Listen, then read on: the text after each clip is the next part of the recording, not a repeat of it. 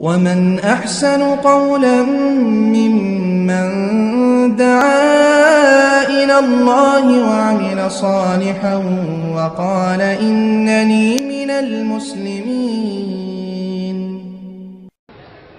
السلام عليكم ورحمة الله. إن الحمد لله نحمده ونستعينه ونستغفره. ونعوذ بالله من شرور أنفسنا ومن سيئات أعمالنا. قال الله تعالى في محكم تنزيله أعوذ بالله من الشيطان الرجيم. بسم الله الرحمن الرحيم. كنتم خير أمة أخرجت للناس تأمرون بالمعروف وتنهون عن المنكر وتؤمنون بالله.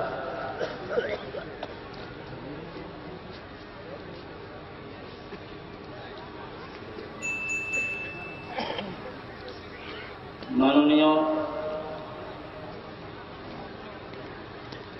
বুজরুগ আহলে ইলম ہم عصر یا ساتھی کہیے حضرت شیخ عبداللہ صرفی حافظ اللہ اور ان کے ساتھ جتنے بھی ہیں علماء کرام اور سامعین اعظام اللہ کے رسول صلی اللہ علیہ وسلم یہ شاد فرمایا ہے بلغ عنی ولو آیا اس حدیث کے ترجمہ یہی ہے کہ میری طرف سے جو کچھ ایک آیت تھی، اس کا ترجمہ اور اس کا معنی مفہوم آپ کو پتا ہے، یاد ہے، تو لوگوں تک پہنچا دیجیے اسی چیز کو سامنے رکھتے ہوئے صرف میں آپ لوگوں کے سامنے کھڑا ہوا ہوں۔ میرا عنوان داعی اور دعات کے کن صفات سے ان کو متصف ہونا ہے۔ اور وہ جن چیز کو بیان کریں گے، ان کے اندر کون کون صفات ہونی چاہیے؟ اسی کے تعلق سے چند منٹ کے لیے میں آیا ہوں۔ اللہ رب العالمین پڑھی ہوئی آیت کے اندر فرماتا ہے تم تم خیر امت اخرجت للناس. کہ آپ لوگ بہترین امت ہیں، لوگوں کے لیے پیدا کیے گئے ہیں۔ تأمرون بالمعروف وتنہون عن المنکر۔ معروف کی، معروف کے بارے میں آپ لوگ حکم کرتے ہیں اور منکر سے روکتے ہیں۔ اور اللہ کی ذات پر ایمان رکھتے ہیں۔ اب اس اعتبار سے جو داعی ہوں گے اور لوگوں کو اسلام کی طرف دعوت دیں گے، ان کے لیے کیا شروط ہونی چاہیے؟ ان کی کچھ مین تین شروط ہیں۔ پہلی شرط یہ ہونی چاہیے کہ ان کے اندر یہ مادہ ہونا چاہیے کہ شریعت کی نگاہ میں منکر کیا ہے اور شریعت کے اعتبار سے وہ معروف کیا ہے، اس کو وہ تمیز کر سکے۔ یعنی قرآن اور صحیح حدیث کا علم ہو، تبھی وہ داعی بن سکتا ہے۔ داعی کے لیے شرط اولی یہی ہے۔ اللہ رب العالمین قرآن مجید کے اندر محمد صلی اللہ علیہ وسلم کو خطاب کرتے ہوئے فرمایا ہے، قل هذه سبيلي ادعو الى الله على بصيرة انا ومن اتبعني. اللہ رب العالمین محمد صلی اللہ علیہ وسلم کو فرمایا ہے، کہ آپ کہہ دیجیے، یہ میرا راستہ ہے، میرا طریقہ ہے، میں لوگوں کو اللہ رب العالمین کی طرف دعوت دیتا ہوں بصیرت پر۔ یعنی قرآن اور حدیث کے ذریعے ہی میں لوگوں کو دعوت دیتا ہوں اور کسی کی رائے یا قول کے اعتبار سے نہیں ہے۔ اور میرے پیروکار صحابہ کرام جو ہیں، ان کے اندر بھی یہ صفات ہے، قرآن حدیث کا علم ہے ان کے اندر۔ اس آیت سے معلوم ہوا کہ قرآن و حدیث کا علم جس کے پاس ہو، بصیرت جس کے پاس ہو، وہی اسٹیج پر آئے گا، وہی خطیب بنے گا وہی مفتی ہوگا، وہی فتوا دے گا۔ جس کے پاس یہ علم نہ ہو، دو، ایک کتاب پڑھ لے اور ایک ہفتہ کے لیے اپنے بوریا بستر لے کر کے کہیں نکل جائے اور چالیس دن رہ کر کے باہر رہ کر کے وہ فتوا دینا شروع کرے یا تو لوگوں کو دعوت دینا شروع کرے، یہ جیت نہیں دے گا اور یہ جائز نہیں ہے بلکہ حرام ہے۔ اسی طرح سے داعی کو علم شرعی سے آرستہ ہونا چاہیے اسی ایک ایک دفعہ نبی کریم صلی اللہ علیہ وسلم معاذ بن جبل رضی اللہ تعالی عنہ کو یمن بھیج رہے تھے۔ تو یہی جملہ استعمال کیا تھا، انکا تاتی قوما اہل کتاب۔ آپ ایسے لوگوں کے پاس جا رہے ہیں، وہ اہل کتاب ہے۔ وہ جانکار ہے کہ علم، کتاب کا علم ہے، لہذا آپ کو طرح طرح کے شکوک آپ کے سامنے پیش کریں گے، اعتراض کریں گے، اس کا جواب آپ کو اینٹ کا جواب پتھر سے دینا ہے، تیاری کر کے جائیے لہذا ایک عالم دین اور ایک مفتی اور ایک داعی کو قرآن مجید کا اور اس طرح کے صحیح حدیث کا علم ہو بصیرت ہو، تبھی وہ دعوت کا کام کر سکتے ہیں۔ اس کے بغیر دعوت کا کام کرنا، اسٹیج پہ آ کر کے بولنا اور فتوا دینا تدیس کا کام نہیں کر سکتے۔ اسی طرح سے اس کے بعد یہ کافی نہیں ہے، بلکہ دائی کے اندر اور ایک صفت ہونی چاہیے۔ وہ یہ ہے کہ ان کے اندر نرم رویہ ہو نرم پہلو اختیار کرے تعلیم الناس میں ان کو یہ ہونا چاہیے، نرم پہلو تحمل کا مادہ ہو۔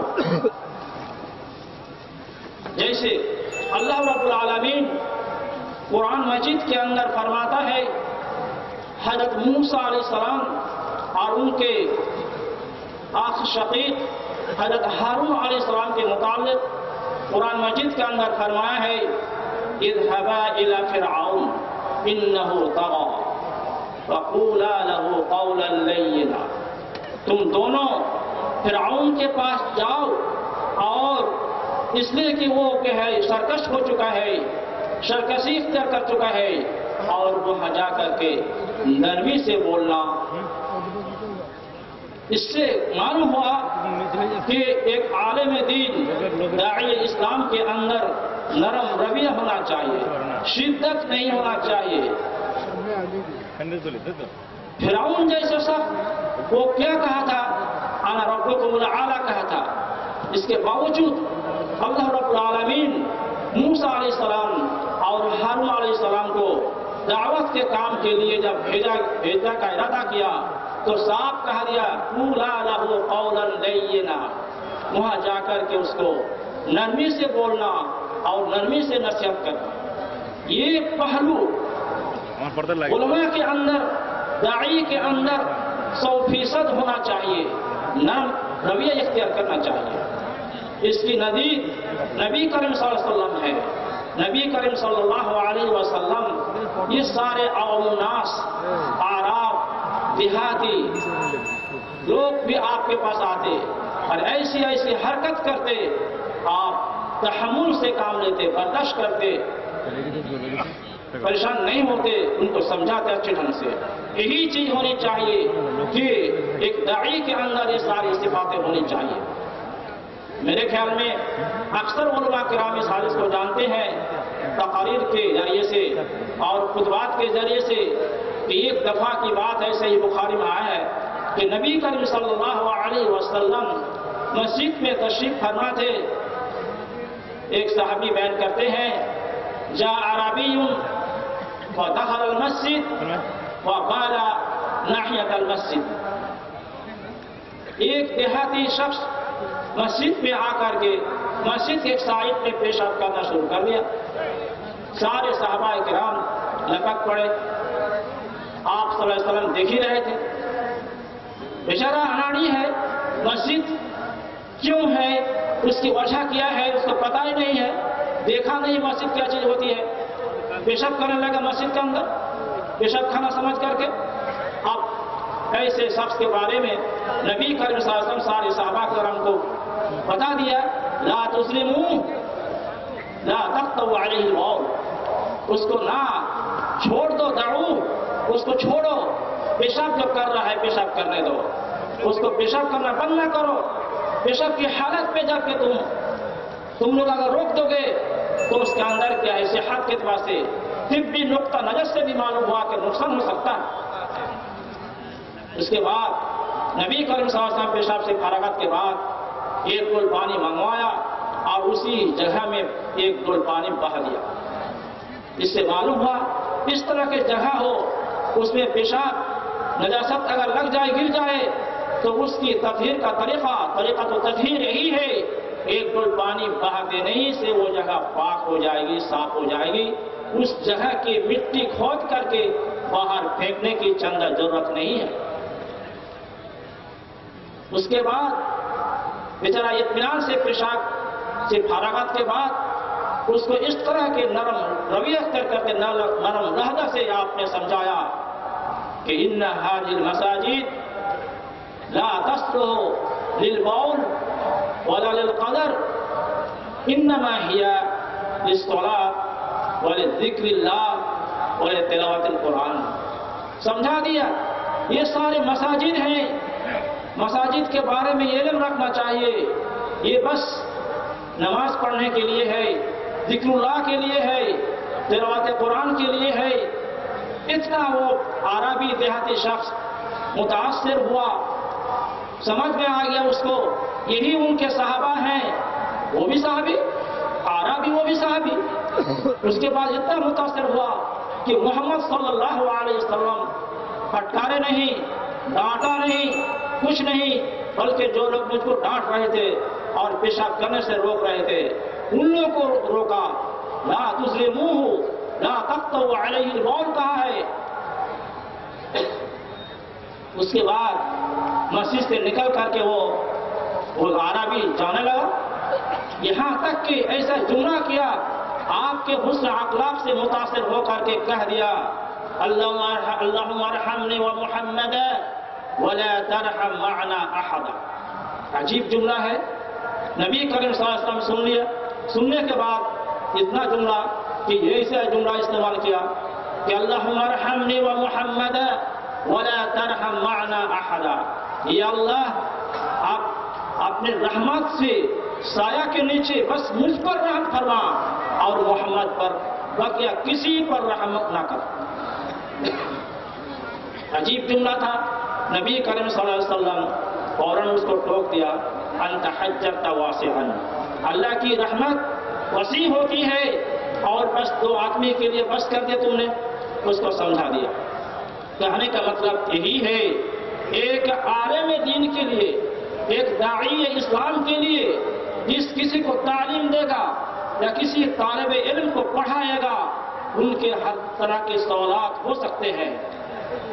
تعلیم کے دوران، دعوت کے در دوران ایسی ایسی چیز آ سکتی ہے، ایسے ایسے سوالات ہو سکتے ہیں۔